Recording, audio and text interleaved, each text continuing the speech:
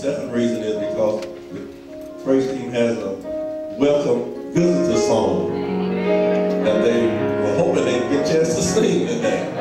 And if we had, if we had not had the visitors, we were going to practice it anyway today. So I'm going to turn it to the hand, Brother Michael. Sister Nona Bickham wrote this song with the words arranged by Michael Watson. Amen.